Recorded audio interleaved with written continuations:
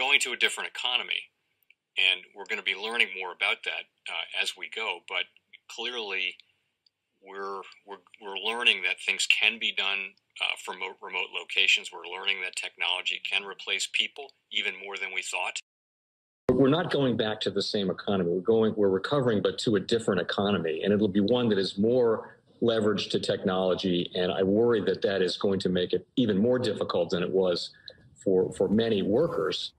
In Silicon Valley, and my friends who work in technology know that what we did to the manufacturing workers, we are now going to do to the retail workers, the call center workers, the fast food workers, the truck drivers, and then even bookkeepers, accountants, uh, insurance agents, lawyers, and on and on through the economy. So what happened to the manufacturing workers is a very clear sign. This effort and China has big plans for this. They intend to seed um, their digital yuan into the global environment by giving it away to visitors at next winter's Olympics. When they arrive at the airport, they're going to get di- yuan digital wallets. They're going to receive digital yuan. They're going to use it uh, throughout their visits to Beijing, and then they're going to take it back to their home countries. They see this as a huge advantage. Why? Because who controls the underlying protocols, who un- controls the underlying standards of the future of money will control the future of money. Welcome to the Crypto Teacher. And guys, please like and subscribe if you do like what you're listening to. Please inform your friends and family and spread all over social media. It is imperative that we get back to learning finances and understand how the world really works. Because once we understand how the world really works, we understand that it is all planned out. Now, I want to thank those who purchased the books Crypto Teacher and the New World Order book. Remember, those books are mandatory because they show you how the world really works. Also, those who purchased the Three Kids books, it's time to re educate. And also, those who donate to the Cash App, Patreon, much love, keep it coming. And also, those who are shopping at both stores, much love, keep it coming. The market is slightly down, but like I stated, guys, we're definitely going to start creeping up. And then, plus, guys, we know on the weekend we're the only game in town. Now, right now, the topic is El Salvador. And we just got the news yesterday of the SEC and Coinbase, and I'm going to go over that later. But in El Salvador, merchants must process those Bitcoin payments. Of course, it's considered legal tender, so they must process it. Now they have a choice of whether they want to keep it or move over to the USDC once they cash out. But we know and we can see that El Salvador is just a testing ground and a narrative that the New World Order is going to use. And I'm going to get into that later also in the CNBC video I'm going to let you listen to. Now, guys, make sure you're paying attention to the actual indicators. You have your volume, you have your tether, you have your USDC. And guys, you can clearly see this chart where all the cryptos go down at the same time. You can look at this chart that I have up here of the actual cryptos, and they basically have the same chart. The reason why, it's an algorithm. It's all manipulated and I'm going to go over that at the end also, just like I stated with the CNBC video. But guys, don't forget about the Fed. They're doing the 1 trillion per day. And then also, guys, we have Grayscale that well. Yesterday, they pulled back some assets. So, guys, make sure you're paying attention. Like I stated, it swings the market. We are in the most manipulated market in history. This is the greatest transfer of wealth and is done right in front of your face. They know the masses do not care about finance. They are asleep. They are distracted by things that do not matter. And then also, guys, do not forget we have back next week. That's going to be very, very important because a few days later, we have the Fed speaking, and we have to make sure that we're listening to that speech, but you know I'm going to bring it to you. And we have institutional investors have dominated the DeFi scene. And we know the reason why because DeFi is the new banking. And when Brian Brooks stated that, that couldn't be more from the truth. Now, guys, we have the SEC threatens to sue Coinbase over a crypto yield program. And then also don't give them a reason. And guys, that makes no sense whatsoever. We know Coinbase has been working with the central banks. We know USDC is basically Goldman Sachs has been working with the central banks.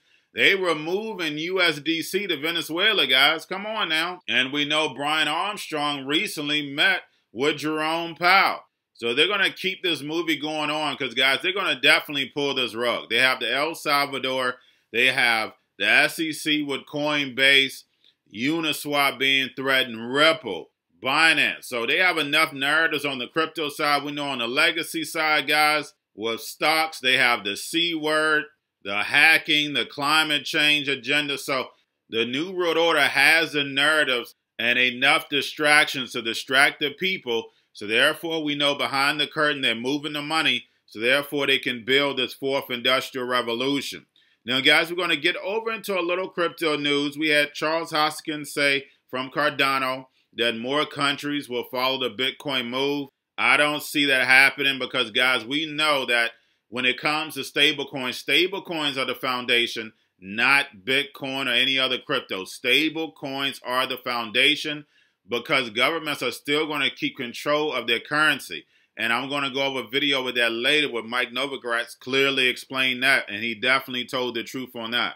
Now we have Rob Gronkowski enters into crypto, becomes an ambassador role with Voyager Digital. So guys, we know how they bring the puppets in to move the masses. Now we have Afterpay tells Senate inquiry crypto could slash merchant payment costs. And we know for a fact that is going to happen. But you're only going to have big banks left. Only a few banks that are going to be left in this new digital economy. Small banks are not going to be able to survive.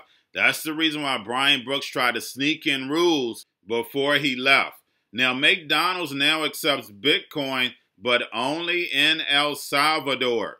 And we have the Republic of Panama introduces bill for regulating crypto. And we know ISO is coming in November. That is the global regulation. And we have all these countries starting to bring in regulation because this is a global agenda. And lastly, guys, I leave you with this CNBC video. And basically, it speaks about the Bitcoin crash, stating that Coinbase went offline. That's the reason, guys, we know the Fed never says, I took your money. The crypto market is the most manipulated market we've ever seen goes up all together, comes down majority of times all together.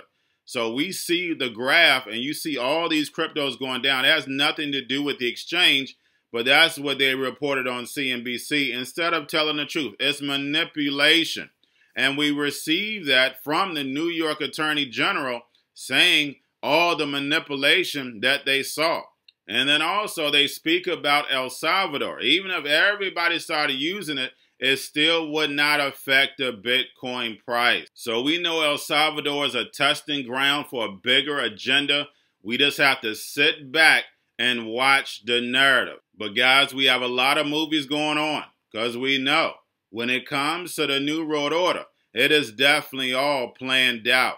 And never forget, TV is your reality and your life is an illusion. But that's all I have for you. Don't forget about the books Crypto Teacher and the New World Order book. Also, the three kids books. It's time to re-educate. Also, if view the cryptos, Coinbase, BitChute, Binance, and not forget book links and crypto links are in the description. Also, the Crypto Teacher Stock channel, Crypto Teacher Stocks. You have your Kobo, your chip stocks, your banking, your gaming, while everybody's sitting at home, get that home stocks to see where the biotech stocks. And while everybody's at home wishing they were still getting that free money, what are they doing? Drinking and smoking weed. Don't forget about those stocks, and y'all have a wonderful day. Welcome back to Fast Money. We've got a Bitcoin alert, the cryptocurrency collapsing today. Right now, it's down more than 10%. This big move lower, testing Coinbase, which reported service issues today. Let's get to Eamon Javers, who has been tracking the very latest on this. Eamon. Yeah, Melissa, Coinbase told us earlier in the day that they did have some problems related to volume. They said, though, that that was cleared up at about 1.40 p.m. East Coast time. Here's the tweet that they put out explaining what had happened. They said, Transactions are now going through normally and service issues have been resolved. We've taken steps on our end to maintain stability and keep our services up. Thank you for your patience and understanding while we worked to address this.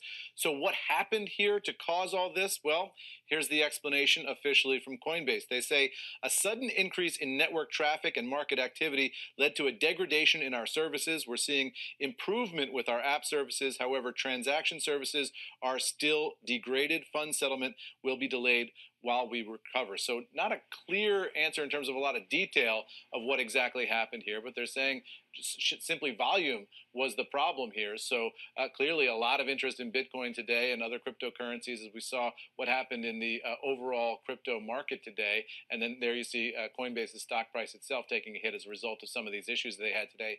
They do say, Melissa, they've now got it worked out, and things should be getting back to normal uh, before too long. We'll see overnight and into tomorrow morning how that actually plays out. All right, Eamon, thank you. Eamon Javers tracking this for us. Meantime, the big breakdown in Bitcoin comes as El Salvador becomes the first country to adopt the cryptocurrency as legal tender. Let's bring in our own Brian Kelly, who joins us on the fast line.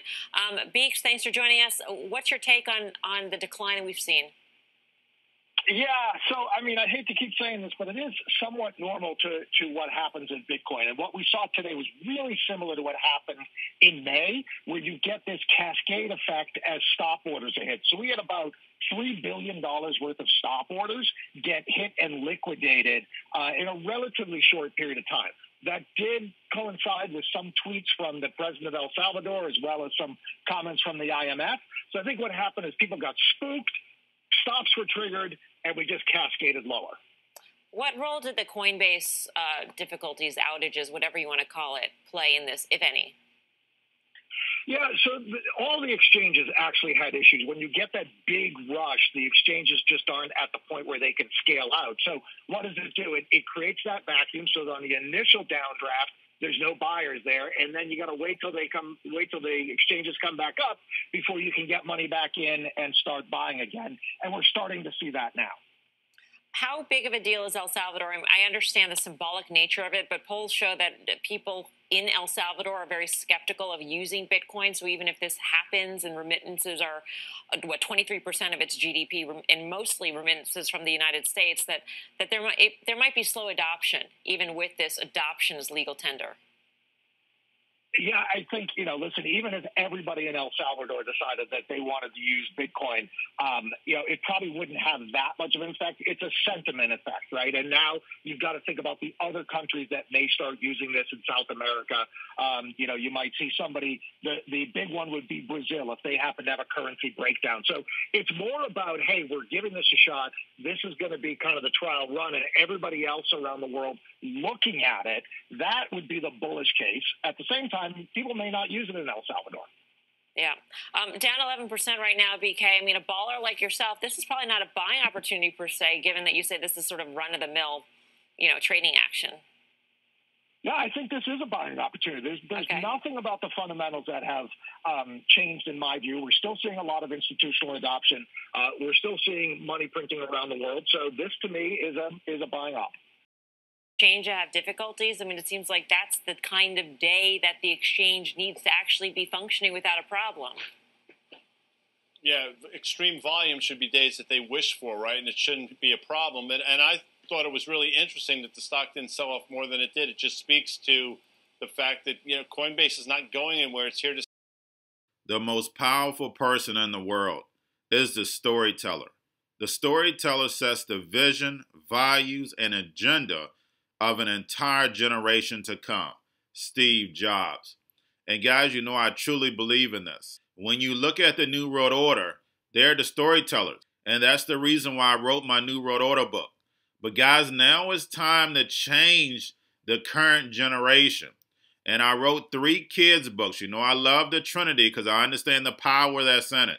So I have three books. We have an opportunity to change the generation, to educate, not just me, but I want to show you that I take action on a daily basis. And I want you to take action on a daily basis. Whether it's your job, whether it's in your community, we have an opportunity right now to educate the masses. I posted this on my Twitter account. Please share, but this is a short clip of the three books. There's going to be a clothing line and action figures. Please get these books for your kids, nephews, cousins, friends, so therefore we can start the re education now.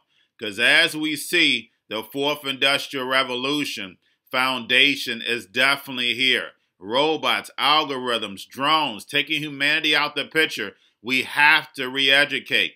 But let's get into the video. Part 1 King Joshua and Grandma Tam Save the Village. Part 2 King Joshua and Grandma Tam Save New York. From COVID 33. Part 3 King Joshua and Grandma Tam Goes to China. It's mandatory to get part 1, part 2, and part 3 of this series. It's time to re educate Generation Z.